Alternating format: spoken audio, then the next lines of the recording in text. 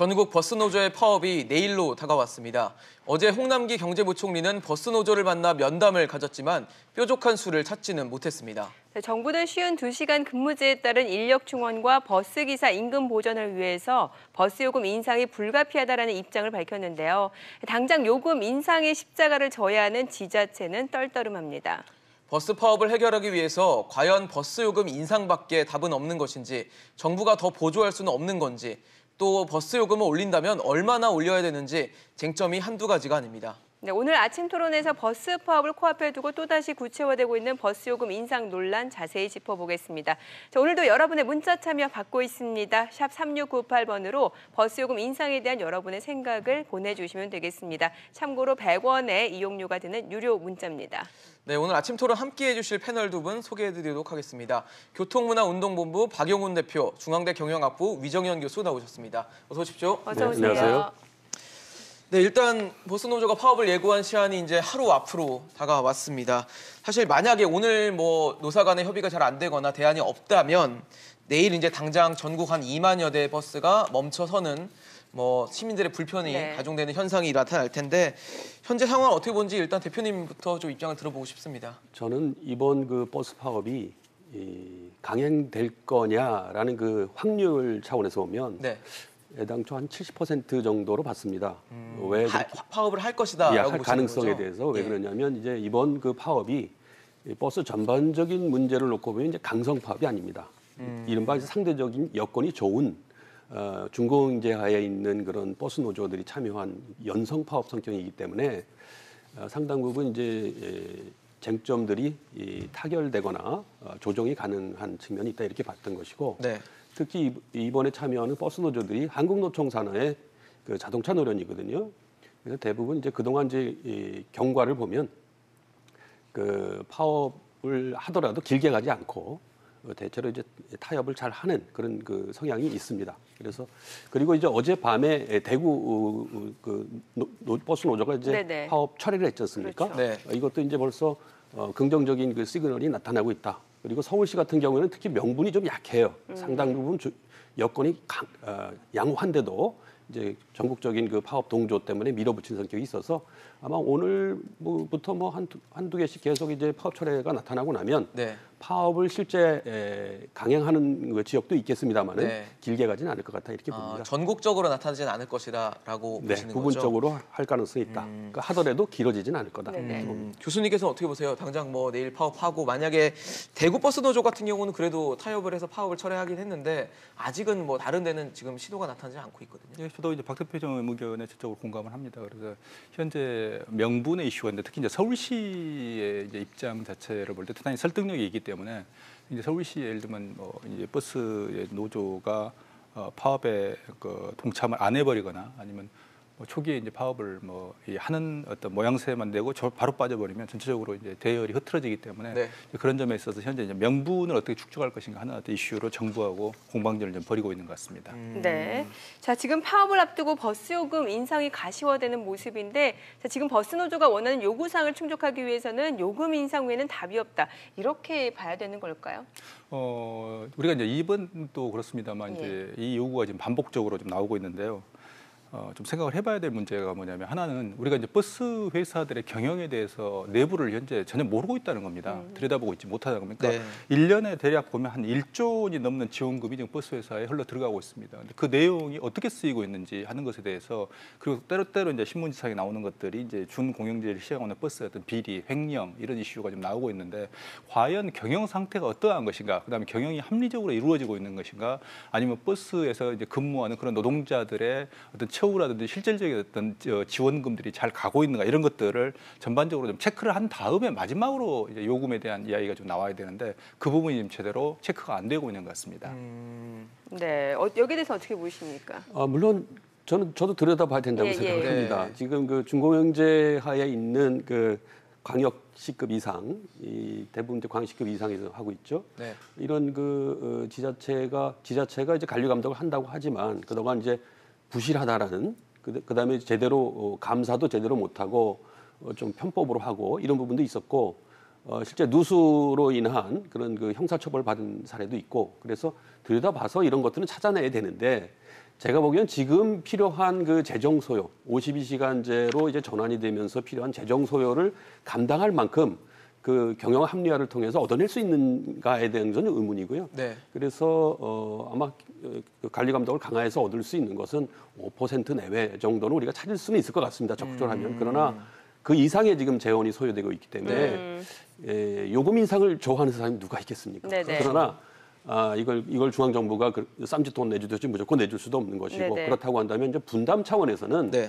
요금 인상이 이 바람직한 건 아니지만 음. 불가피한 거 아닌가라는 측면에서 저는 요금 인상도 한 가지 대안으로는 포함돼야 된다 이렇게 보고 있습니다. 네. 저희가 지금 문자 메시지를 받고 있는데 네. 8611분 입장을 좀 들어보면 어, 최근 버스 사태를 보면 결국 우리 주머니에서 돈 나오겠구나 어, 이 생각만 든다라는 입장을 밝히셨습니다. 네. 또 끝자리 3156님이 보낸 내용은 원인은 법에 있고 방법은 세금인데 잘못은 원인을 해결해야 된다라는 이런 의견을 또 게재해 주셨네요. 네, 말씀을 들어보면 사실 이 버스 요금 인상에 대한 경계심은 분명히 있는 것 같아요. 근데 정부도 사실상 이 버스 요금 인상을 이 기정사실화하는 분위기란 말이죠. 정부의 어, 이런 대, 태- 태도, 스탠스를 어떻게 좀 보십니까?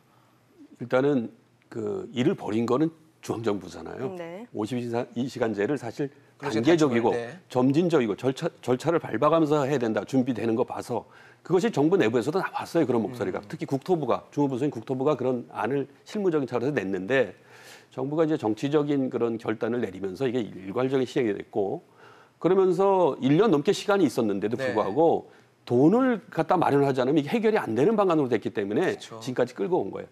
최, 최후의 단계까지 와서 극단적인 선택을 할 수밖에 없는 상황이 됐는데 음. 그럼 이것을 왜 국민들 이용자가 내느냐 하는 그렇죠. 문제가 있죠. 예. 저는 네. 이 부분에서 이렇게 정리를 했으면 좋겠습니다. 어차피 52시간제로 버스를 운영하게 된 것은 네. 일반 사업장과 같이 가, 가, 가는 측면도 그렇죠. 있지만 2017년에 일어난 그 버스 사고, 상징적인 사고가 있었지 않습니까? 졸음운전, 네. 과로로 인한 졸음운전 때문에 이것은 국민의 안전을 담보할 수 없는 네. 이런 그 근무 체제에서 안 된다. 그래서 어, 이제 52시간제를 전격적으로 적용하게 됐는데 네. 그러면 그 부분에 대해서는 안전에 대한 비용을 그 이용자도 일부 분담, 부담을 좀 해줄 필요는 있겠다라는 것이죠. 그런 차원에서 보면 조금은 그 소비자도 어, 좀 고통에 참여를 할 필요는 있겠다라는 그런 측면에서는 되지만 네. 오르는 부분에 대해서 누가 흔쾌히 그 쉽게 동의하는 사람은 그렇죠. 없지만 그런 차원에서 좀 이해할 필요는 있겠다 이렇게 봅니다. 그러니까 네. 이 요금 인상의 일부분은 안전에 대한 비용이다라는 그렇습니다. 것을 인지를 하고 좀 그 부분에 대한 수용도 필요하다는 말씀을 다만 그 거죠. 부분을 얼마나 폭은 중요하겠죠. 예, 네. 고객에게 이용자에게 전, 전가할 건가는 네. 좀 정치적인 논의가 좀 필요한 것이죠. 예. 교수님께서는 어떻게 보세요? 요금 인상의 이런 분위기 또 정부의 태도에 대해서. 어, 52시간의 이슈가 있다는 것은 이제 또 공감을 합니다. 네. 근데 네. 그동안 이제 유예 기간을 그러니까 줬다는 점과 더불어서 이제 정부의 이제 대책을 보면 뭐 이해도 되는 게 예를 들어 이제 500인 이상 버스 사업장에 대해서 뭐 기존 근로자 임금 지원 기간을 1년에서 2년으로 늘린다 뭐 이런 네네. 어떤 지원책들이 있습니다. 그렇죠. 네. 예. 기존에 이제 버스 회사가 어, 준 공영이라는 것은 완전한 공영 즉 국영 또는 그 공공지자체가 직접 이야기하는 공영 이건 아니거든요. 그러면 네. 뭐냐 기업적인 성격을 가지고 있으면 결국에는 그 부분을 즉 일정한 유예 기간을 줬고 그리고 또 이제 기존에 이제 임금 상승 부분을 지원을 하는 이런 부분이 있기 때문에 그 부분에 이제 버스 회사가 어떻게 흡수할 것인가의 이슈가 있습니다. 그 부분이 완전히 빠져 있는 거죠. 그래서 아까 이제 대표님 말씀하셨습니다. 5% 내외가 과연 맞는 건지 그리고 어, 실제로 이제 경영 합리화를 통해서 어느 만큼 이런 충격을 좀 흡수할 수 있는지 1년이나 2년 특히 이제 2년의 유예 기간을 주고 그걸 충분히 그 비용을 커버해 줬기 때문에 그 다음에 이제 어떻게 커버할 것인지에 대해서 고민을 해야 되는데 이번에 이제 가장 쉬운 방법인 버스 요금 인상이라는 부분을 요구를 했다는 거죠. 그래서 요금 인상을 기존의 시스템을 모두 놔둔 채로 우리가 비용을 이제 커- 어떻게 커버할 것인가면 대답은 굉장히 단순합니다. 하나는 세금으로 메울 거냐, 네네. 하나는 요금 인상 소비자가 메울 거냐. 네. 두 가지 스피나 둘 다 우리 돈이거든요. 그렇죠. 그렇죠. 세금도 예, 결국은 여기 앉아 있는 다 우리들의 돈이거든요. 네. 그러니까 세금이라는 한 쿠션을 넣고 들어가는 돈이냐, 예. 직접 소비자가 내느냐, 이게 본질은 똑같습니다. 근데 그 중간에 들어있는 블랙박스, 즉 기업의 또는 버스의 어떤 경영 상태에서 어디까지 이걸 흡수할 수 있는지 또는 그동안 노력을 했는지 이런 부분들이 제대로 체크가 안 된 상태에서 계속 이제 비용이 상승할 때마다 결국에는 그게 요금으로 전가되거나 결국 정부 지원금을 요청하는 이런 어떤 순환이 반복돼 악순환이라고까지 말할 수 없습니다. 이게 반복됐기 때문에 네. 차제에 이걸 명확하게 좀 정리를 하고 가야 된다 이렇게 생각을 합니다. 네, 한, 네. 한 가지 좀 예. 덧붙이면은요. 지금 그 어, 실사를 하거나 감독을 강화한다라도 크게 거기서 이제 나올 돈이 그렇게 많지 않다는 거 이렇게 보는 것은 대당 운송 원가를 그 매년 이 분석을 합니다. 회계 기관에서. 그래서 거기에도 뭐 이게 정확하다는 건 아닙니다만은 그래서 거기서 이제 찾아올 돈은 그게 크지 않다라고 이렇게 제가 보는 거고 5%로 이렇게 말씀드렸다는 말씀을 드리는 거고요. 지금 서울시가 운송 원가가 대당 운송 원가가 하루에 그 68만 원 정도가 됩니다. 네. 네. 반면에 에, 경기도는 63만 원, 그 지방은 57만 원 정도거든요. 그러니까 한 5만 원에서 10만 원 차이가 있는 것이죠. 그래서 이 부분에 대한 문제를 이제 급격하게 지방에서 더 올리, 올리게 할 것이고, 그 다음에 이제 이번에 52시간제 적용으로 인해서 사업자가 감당할 수 있는 몫은 사실상 없습니다. 없다기보다도 그 불가항력적이다라는 것이 현장에 이제 사업자들 얘기를 들어보면 직원 채용도 어려워요, 사실은. 이러한 근로 조건 하에서 직영 채원이 어- 어렵기 때문에 돈을 들인다 하더라도 사실 또 다른 문제는 또 남거든요. 그만큼 절박한 상황에서 아예 손 놓고 있는 겁니다. 지- 사업자들은. 그래서 사업자들 두드라는 얘기는 안, 안, 안- 아니 그 하자는 건 아니고요. 네. 다만 이렇게 절박한 상황에 있다라는 현실을 좀 말씀드립니다. 네. 네, 지금 많은 분들이 문자 주고 계세요. 끝자리 4586님은 주 쉬운 두 시간 시행한다고 한 지가 1년이 넘었는데 이제 와서 요금 인상한다고 하는 게 말이 되나요? 라는 의견을 주셨고 어, 결국 끝자리 7746님은 결국 서민들과 학생들 소외계층만 더 힘들어진다. 버스만 타고 다닐 수밖에 없는 어려운 사람에게만 더 힘들어진다라고 의견을 주셨네요. 네. 503 5035번도 문자를 주셨는데 이 정책의 잘못된 부분을 왜 국민이 하면서 참 난감하다라는 입장을 주셨습니다. 네, 이 버스 요금 인상과 관련해서 우리 시청자분들의 그런 감론을박도 좀 이어지고 있는 상황인데 네. 서울시 입장은 일단은 정부와는 좀 다른 것 같아요. 그러니까 이미 준 공영제를 채택해서 주 쉰두 시간 근무제 대비를 해왔고 근로 조건도 처우도 전국 최고 수준이라는 건데 서울시 입장은 사실 이해가 안 가는 건 아니에요. 근데 서울시의 이제 우리가 입장을 어, 이해는 되는데 예. 그 배경을 생각을 해보면 네. 전국의 지자체 중에서 서울공화국이라고 이, 야기할 정도로 서울은 재정이 풍부합니다. 네. 그러니까 그런 차원에서 서울시는 여유가 있는 거고요. 음, 어, 각 지자체 입장도 이해가 안 되는 건 아닌 음. 게 각 지자체에서 재정 자립도가 뭐 대부분 한 30%도 안 되는 데가 대부분입니다. 음. 이런 상태에서 그 돈을 결국에는 이제 노, 또 인- 인상 버스 요금을 인상하거나 보조금을 내리거나 이런 어떤 이슈들이 있는데 어, 누가 돈을 낼 것인가 하는 어떤 항상 그런 이슈에 지금 맞물려 있습니다. 그런 점에서 볼 때 어, 서울시는 상대적으로 좀 돈이 많기 있기 때문에 가진 자의 여유로움 이렇게도 좀 이야기를 할 수 있겠습니다. 상대적으로 어, 전국의 어떤 지자체를 보면 어, 배고픈 자의 서글픔 뭐 이렇게도 아. 이제 볼 수 있는 거죠. 네. 그러니까 똑같이 정부 보조금이 들어간다 하더라도 그 규모나 양이 저- 압도적으로 일단 다른 거죠. 네. 그래서 서울시가 그걸 이제 논리적으로 자꾸 이제 접근하고 있는데 그 배경에는 어, 기본적으로 재정적인 차이 이걸 우리가 감안하고 좀 봐야 된다라고 생각을 합니다. 네.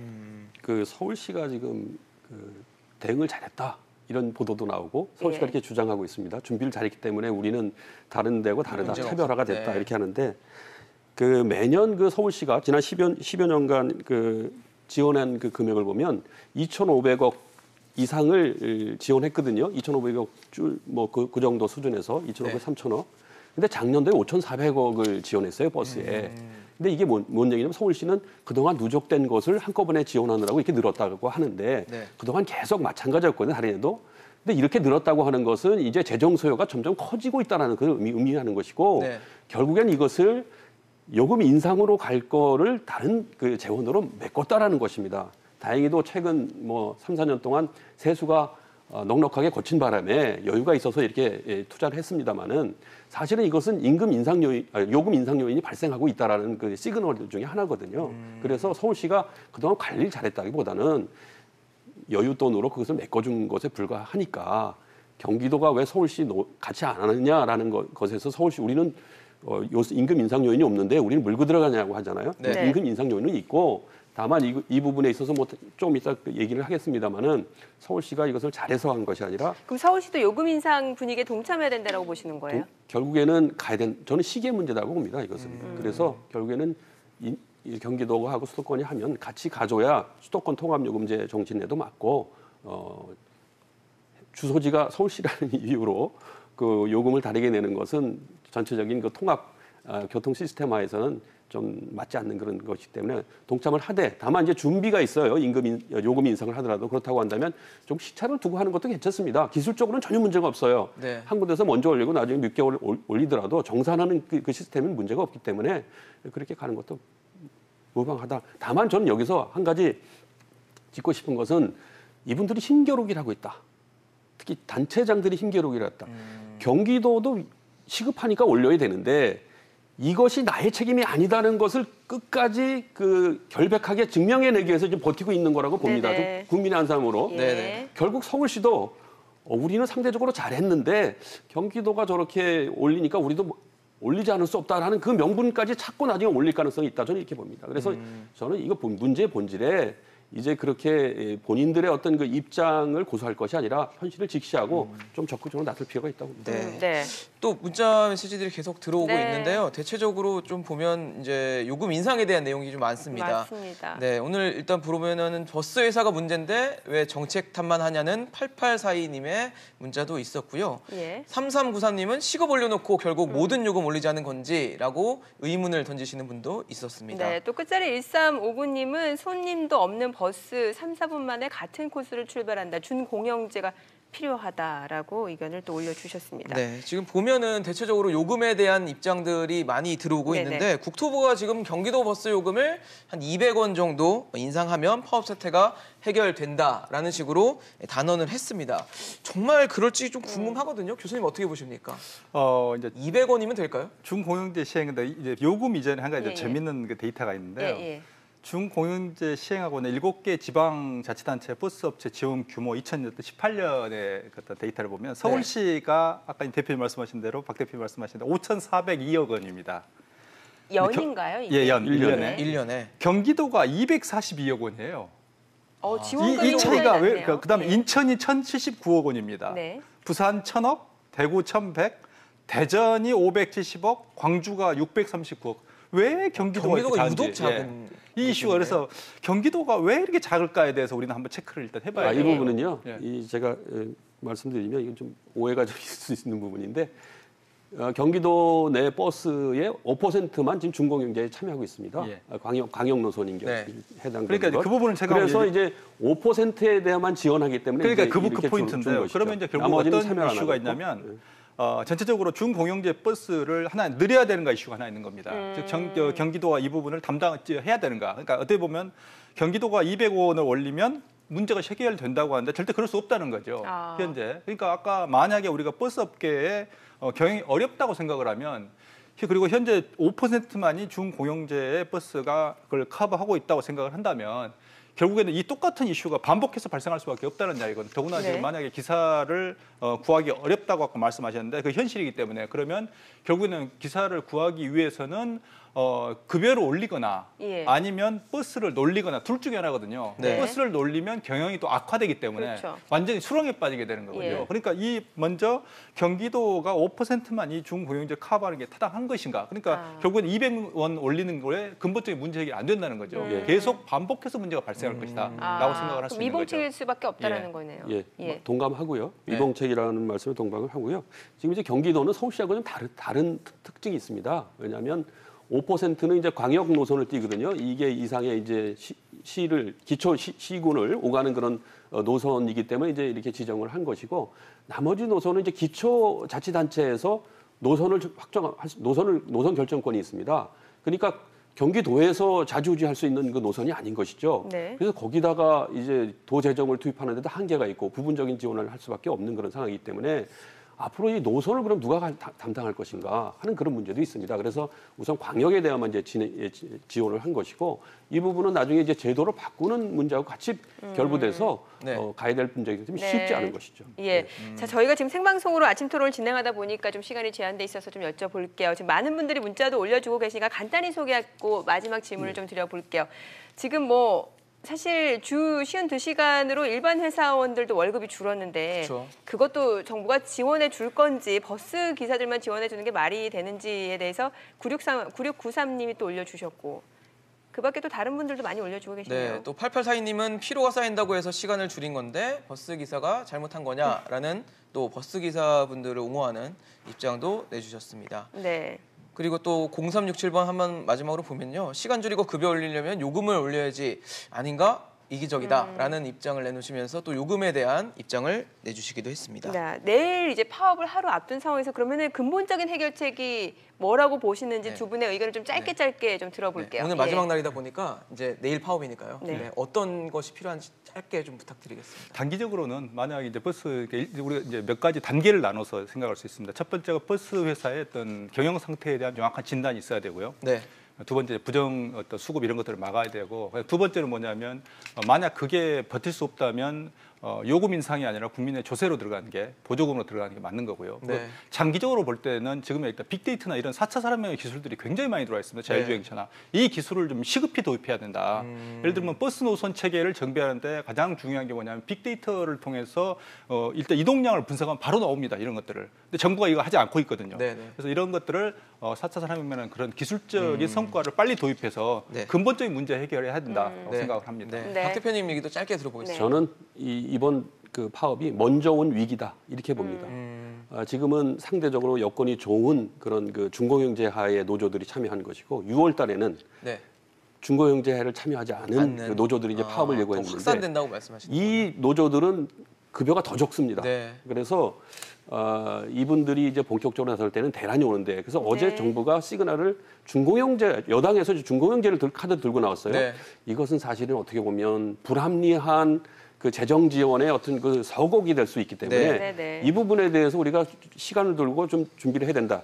저는 이번에 파업에 참여하는 주체들이 얻을 건 다 얻었습니다. 예. 이미 네, 명분이나 네. 이런 거 다 얻었기 때문에 이번 거 불을 끄는 거는 빨리 소화기로 끄는 알겠습니다. 차원에서 길게 갈 필요는 없다고 예 그렇습니다. 주시는군요. 6월 거에 대비해야 된다. 네, 네, 알겠습니다. 알겠습니다. 오늘 교통문화운동본부 박용훈 대표 그리고 중앙대 경영학부 위정현 교수였습니다. 두 분 잘 들었습니다. 잘 들었습니다. 네, 감사합니다.